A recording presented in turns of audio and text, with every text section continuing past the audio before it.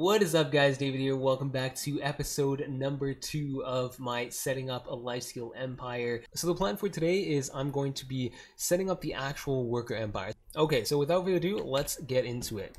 Uh, so I think I'm going to start off in, okay, so I did a little bit of playing around and like I mentioned, I wasn't going to be recording everything, but I did organize the Velia storage a little bit and then I changed on the lodging and storages there and then I played around with the Olvia, emptied all of that. So uh, I did a little bit of extra stuff overnight yesterday or well, after I recorded the first episode. I want to quickly plug in a few things though, just before I get into the actual worker empire thing. Uh, if you have enjoyed the content so far, subscribe to the channel and also leave a like and let me know down below if you are enjoying this content so far. And uh, and then also I um, I do stream on Twitch, and that's something that apparently people don't really know, but yeah, I stream on Twitch, and I'll have it linked in the description down below. And then one last thing is that I did mention that I wasn't going to be recording absolutely everything that I was doing and setting up. So what I did last night was I emptied the Velia warehouse and I moved the lodging and storages around and then I also emptied the Olvia uh, storage and I also removed all the CPU storage that was in here that was just randomly invested into. So I saved a little bit of CPU there. Okay, so let's actually get into the node setup part. So I want to grab Casta Farm. This is grapes and I need this so that I can get into cooking the essence of liquor. So I'm going to invest a contribution there there and then I will invest into the grape node and then uh, I will go out and I'm gonna again like I said I'm gonna have an entirely separate video dedicated on getting workers. For now I'm just to be setting up the actual nodes here. So what I do want to grab is Bartali farm and then I'm also to need the chicken meat and the eggs. And then same thing for this node here the Loggia node. I'm to grab that for the potato farms.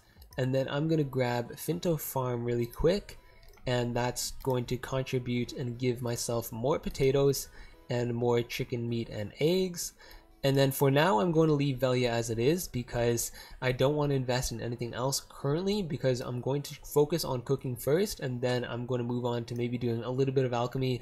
So then I'll invest in the sunrise herbs, the arrow mushroom, so forth, so on. So let's move on down to Heidel. Uh, in the previous episode, I invested in Alejandro Farm, as you remember, and then I also uh, invested in Costa Farm. And I'm not going to invest in Moretti Plantation, even though it does give weeds. I'm not really uh, going to go for wheat as my main uh, beer material. I think I'm going to be using potatoes mainly because Shuri Farm gives a lot of potatoes and uh, it also gives the special quality and the high quality. So it's not like I need a ton of wheat. But uh, I'm going to move down to Glish here, and what I want with Glish is I do want the Glish runes for the trays. So I'm going to connect Southern Sanaga, the Southern Guard Camp, and then I'm going to invest into Glish runes and then because I don't have the excavation node unlocked behind the scenes later on tonight, I will go ahead and grab the uh, Glish node rune and I'm going to invest some energy in here. And then this way I will have it set up for later on. So moving on to the Mediah region, uh, like I said, I want Shuri Farm. So Shuri Farm is the potato node. So I'm going to have to invest into eastern border here and then invest into Kamasylve Temple and then from here ancient ruins excavation and then I will go to Canyon of Corruption, and then going down, I could connect to Shuri Farm. So I'm going to grab Shuri Farm, oops, grab Shuri Farm, and the sweet potato nodes, and then again, I will grab a worker for that. Okay, so I got most of those nodes here. I will not be investing in anything in Altinova right now. I will be grabbing the Kaposia node though because I do want the copper and the rough opals and the powder flame and I don't need the Tef but this is what I'm mainly going for right now. So, uh, and there is a free lodging here so I don't really have to waste any uh, pearls on the lodging because I get free lodging. And then I'm not going to really worry about any of the nodes outside of Valencia. And so from here, my main focus is going to be the Calpheon region because that's where a lot of the uh, passive income comes from. So right off the bat, I'm going to invest in Keplan Quarry if you've been on the channel for a little while, you know that Keplan Quarry is my main go-to. This gives coal and it gives a lot of return for the CP invested. And because I don't have over 300 CP, I'm not going to be investing in the other Keplan nodes as of this moment. But what I will invest in are the Calpheon nodes. So right away, I want to grab Dandelion, I want to grab Kuroda's Cave, I want to grab Bree Tree. So what we're going to do is I'm going to invest in the Dias farm and then invest in Northern Wheat and then from there I can expand to Old Dandelion and then grab the Birch Timber. Now I am unfortunately out of energy so I'm going to have to swap characters and uh, I'll see you all on the flip side. Alright, so I'm on my Sork right now. Let me pull up the map again and let's head on over to Old Dandelion and invest in this node and then get the Timber node here. And this is because it gives Birch Timber and the Red Tree Lump and the Red Tree Lump is what I'm going to be using for Alchemy later on down the line. And then of course I want to grab Tin Ore and the Rough Red Crystals, although I'm not really caring about the Rough Red Crystals right now, that's just like a side thing. And then I'm going to invest in Burnianto Farm. Now this is a excavation excavation node. So again, I'm gonna have to go and invest into the excavation node. But what I really want is the Bree Tree Ruins here. So I'm going to grab the birch timber and the birch sap really quick and then of course because I will be doing alchemy later down the line I will grab this but not yet because I want to see how much CP I have left over once I'm completely done the empire because I don't want to invest and then not have enough right so I want to make sure that I get the most important nodes that I want right now and then move on from there and then if I ever have CP left over then I can just invest in the extra alchemy nodes uh, like I mentioned. So moving down here I need Gambino Gabino Farm, or Gabino Farm, my bad. And then I need the Northern Kaia Pier, the South Kaia Pier, and then I'm going to invest in the Rhutum Sentry Post. And these are really expensive. I'd say that if you can connect to Trent without actually having to connect to Calpheon and use Trent workers for these, then I'd say that's probably your best bet. But uh, anyways, I got the tin ore and the rough green crystals from Rhutum Outstation. That's the node that I really wanted. And then moving down here, I'm going to connect Tobari's cabin. And then also I'm going to grab the Mancha Forest and I want to grab the fir timber here and the fir sap. So this is something I'm going to use down the line for processing. So let's grab abandoned monastery and lumberjack's resting area and then of course invest in cedar timber so Foniel's cabin is also another good one and then I'm gonna grab the fir timber here and then I'm going to invest in Behr Riverhead because it gives tin ore and the powder earth which can be used down the line for alchemy and then I'm not going to invest in Rua Tree Stub even though it does give an excavation node here just because it's a little slow and it's definitely not worth the CP. So on my main account I have Shady Tree Forest and I invested in this because it currently gives the Moss Tree Timber, Moss Tree Sap and Moss Tree Plank and that is used in the Helix Elixirs.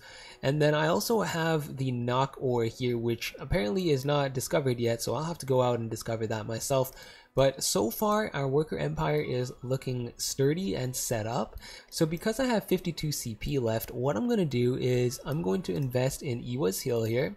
I'm going to grab the Ash Timber, and then I'm also going to grab the Fortune Teller mushrooms and of course I don't have any more energy so uh, I'm going to switch characters and then I'm going to see you all back when I have more energy. As you can tell investing in nodes costs a lot of energy, it costs 10 energy every single time you invest into one of them. So uh, if you are setting up this empire and you don't have that much energy, then you may have to buy energy potions off the market or refill your energy from the innkeeper just to keep up because again it does cost quite a bit of energy. But no worries I have quite a few alts here with a lot of energy stored Okay, so as I was saying, I'm investing into Iwa's Hill and I want to grab the Fortune Mushroom. So I invested in Fortune Mushroom node because this is a good CP node and it also, um, you know, it's used for alchemy. So if you don't want to buy Fortune telling Mushrooms or whatnot, then you can just invest in this. So if you're going to get into alchemy and you want to like think ahead and save for down the line, then there's no problem getting this and that's the reason that I'm currently investing in that on this setup. So next up, I want to get Forest of Plunder, again, because I have 49 CP, well, 48 CP left.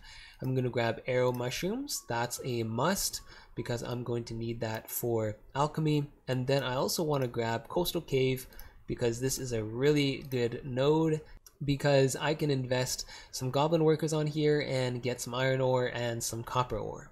Okay, so I've actually forgot to grab Castle Ruins here. I do want to grab this for the Maple Timber, and you actually don't need to connect the Eastern Gateway because I connected from Kamasylve Temple. I could just connect to Castle Ruins from there, and then I do have some extra stuff, so I'm going to invest into the Zinc node here. Now this is a little expensive because it does cost 3 CP. You do not need the Silk Honeygrass, that's uh, not really a necessary node. And I will grab the Elric Shrine though because I do want the White Cedar Timber. And then I will be grabbing Stone Tail Wasteland because I also want the Acacia Timber and this way I can start making some crates down the line. And I have 29 CP left so I will most likely invest in Mediah Northern Highlands, grab that, grab the Maple Timber, and then I think I will have enough CP left to grab the uh, abandoned iron nodes here. So I'm gonna grab, the only reason I'm gonna grab this one here is because I wanna grab the iron ore down here.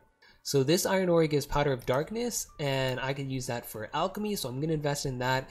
And then I can also invest in the zinc ore here too. So I still have 12 contribution left. So that's actually pretty good. Uh, my worker empire is looking solid right now. As you can see here, we got most of the majority of the solid nodes that we want. I think I'm going to grab silver azalea though, because I will need that for alchemy. And I'd rather have a bunch of that stored up so that I could start spamming the pure powder and then I think what I'm going to do here is I'm going to invest in Northern Plain of Serendia, invest in the Maple Timber, and then also grab the Silver Azalea here. Or I have no energy. Okay, that's fine. Um, you know what? I I don't really need the second Silver Azalea node there. I think this one is 12 minutes long for a single cycle, so I think I should be okay. And I think that's pretty much our setup, to be honest. Uh, I can probably just uh, cook and then invest the rest of my CP into uh, farms. So I'm going to end off the episode on a high note here. So what I'm going to do is I'm going to start transporting all this timber to my Heidel storage. And this way I can start, uh, you know, processing that timber down overnight.